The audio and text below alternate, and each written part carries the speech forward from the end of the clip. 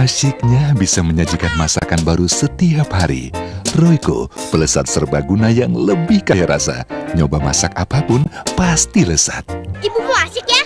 Besok bekalmu apa lagi ya?